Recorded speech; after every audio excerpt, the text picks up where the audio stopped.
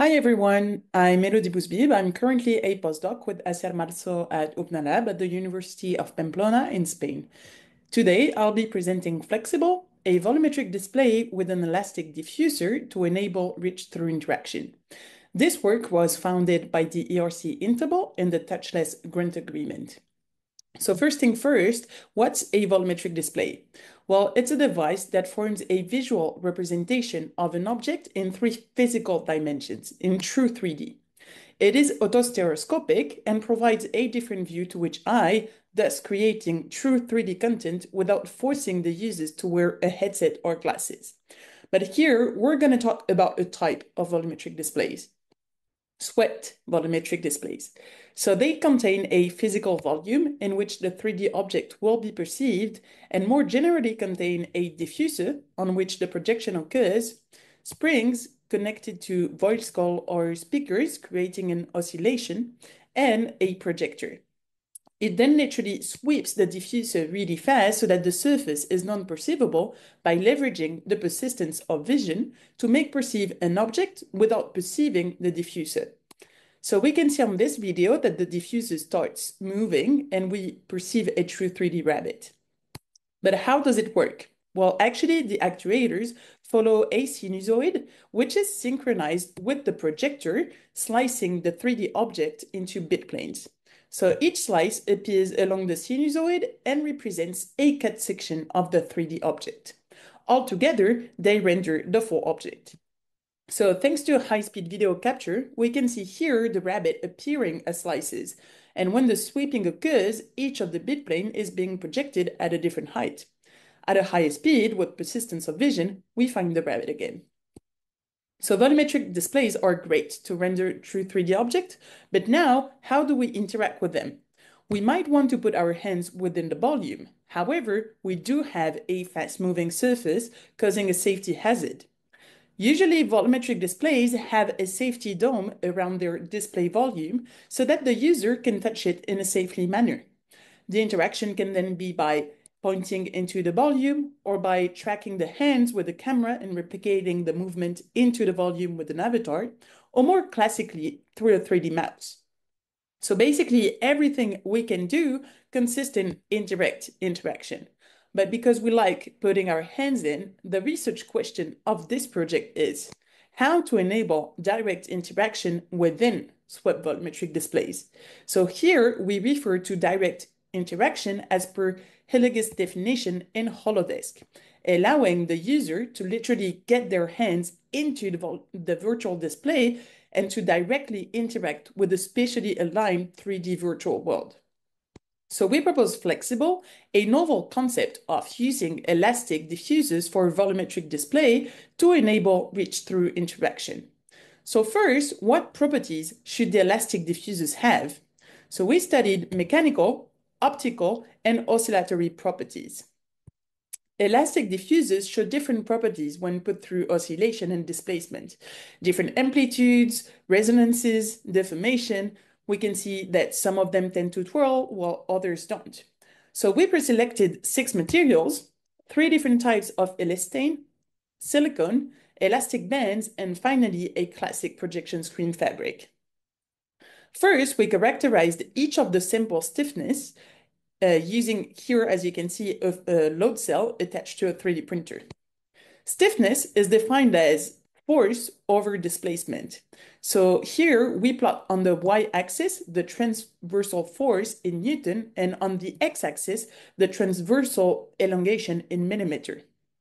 The two first elastane behave similarly following a nice parabol. However, the third one actually deformed excessively without a huge amount of force and went beyond elastic deformation. It entered plastic deformation, where deformation is permanent and non-reversible. The three remaining samples showed similar force to elongation profiles, but the elastic bands showed the highest stiffness. The stiffness characterization was performed only once, but from the plastic deformation we noted, we decided to test our samples for hysteresis and whether they enter into plastic deformation. Basically here with the plastic bands, when extended longitudinally, we can see that the material go back, goes back smoothly. But with Elastane C, we can see that the fabric gets irreversibly deformed and its sides even twirl and change its global shape.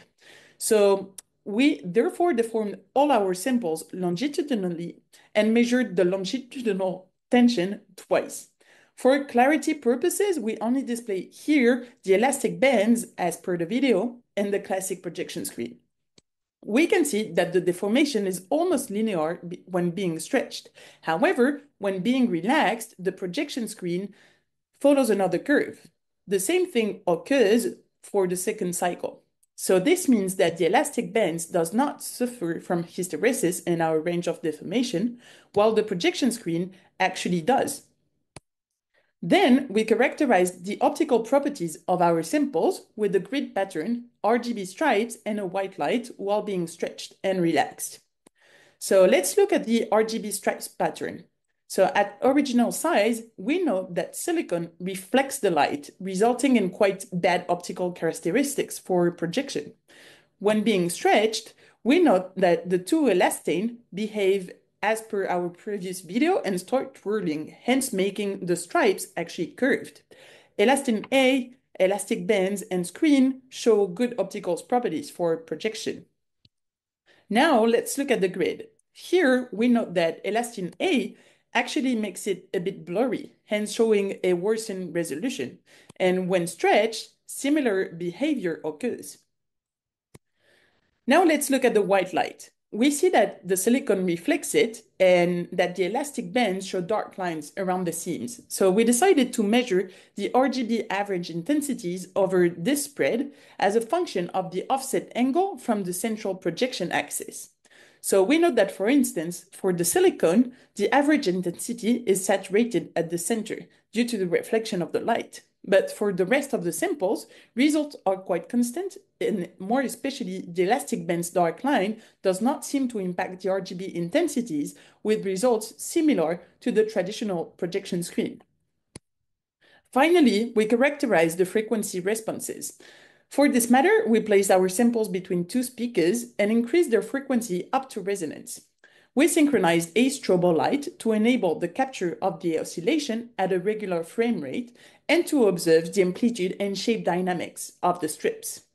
We then compared our experimental resonance frequency from predicted resonance frequency and had under 1.9 hertz difference in average. So the selection of the materials based on frequency then depends on the resonance frequency of the used device.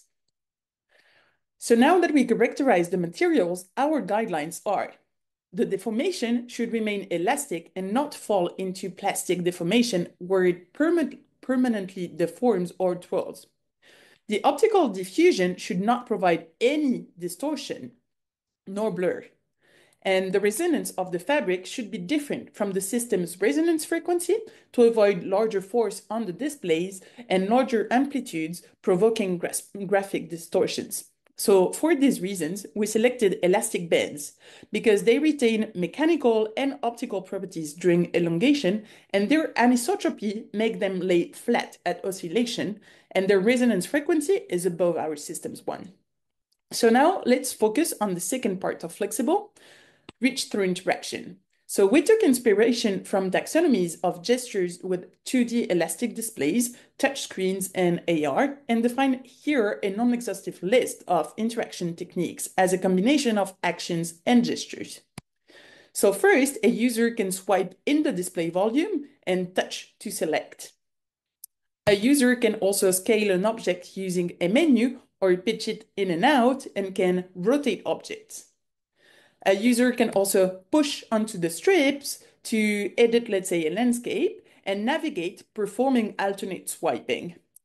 More actions can be performed, such as tracing, twisting, squeezing, zooming, and gestures can be done with one or more hand, one or more fingers, one or more users. Interaction can also occur with the strips or in the lateral, longitudinal, or diagonal direction without obstruction of fingers getting stuck between strips. We provided a non-exhaustive list of direct interaction using FlexiVol as a combination of gestures and actions.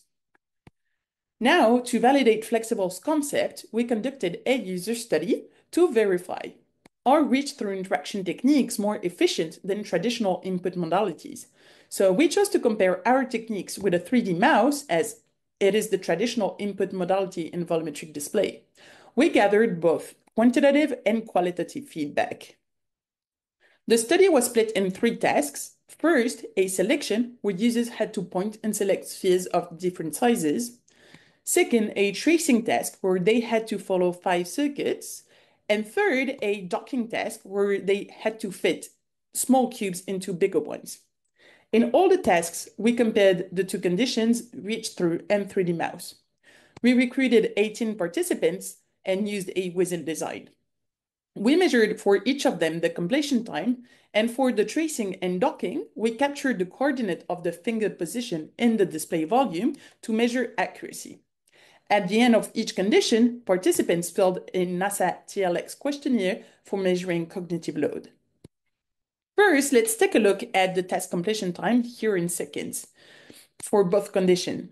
So the time, the task completion time was significantly smaller with the reach-through input modality, and the average selection time with the reach-through modality was around one second, as noted on the box plot with the green triangle. For the tracing task, no effect was noted for completion time.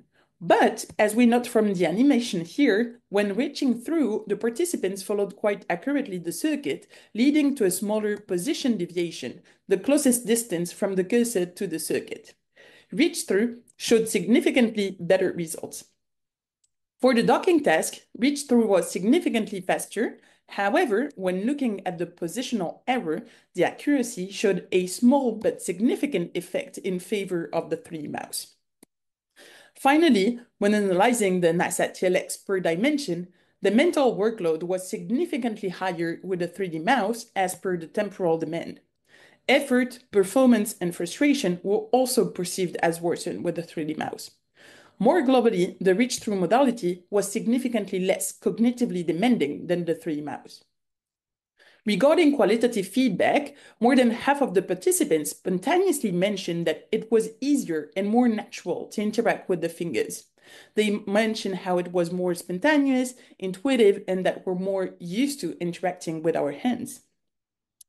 As per the performance dimension in the NASA TLX, participants felt more confident in both completion time and accuracy using reach-through. When asked about their reaction when they were told they would interact with the display, interestingly, all participants mentioned a sentence with a but, it did not, showing their apprehension, but how they were nicely surprised with flexible softness. So we hence empirically validated FlexiVol's concept and demonstrated the benefits of direct interaction in volumetric displays. We envisioned um, different directions into the work. Mainly, we plan on coupling FlexiVol with haptic technologies, for instance, focused ultrasound, which can travel through the fabric and create a focused tactile stimuli on the fingertip. Also, by sewing conductive thread through the fabric, electrotactile feedback or sparks could be provided to stimulate the fingertip at interaction. Also, given the limitation in display size, we consider increasing the size of the display. This can, for instance, be done by sweeping helicoidally instead of linearly. This increase in size would then allow for collaboration, context of use, and exciting direction to explore in volumetric displays since its, since its common interact paradigm is suited for various uses. To sum up, the contribution of this work are a novel concept of using elastic diffusers for volumetric displays, guidelines for characterizing and selecting elastic diffusers for volumetric displays, a compatible design space for reach-through interaction techniques, and empirical results for completion time, accuracy, and mental workload validating reach-through interaction in volumetric displays. Thank you for your attention.